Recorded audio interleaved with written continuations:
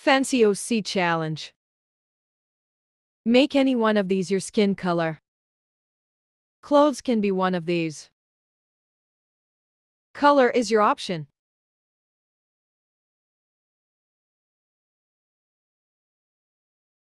Again, hair is also your option.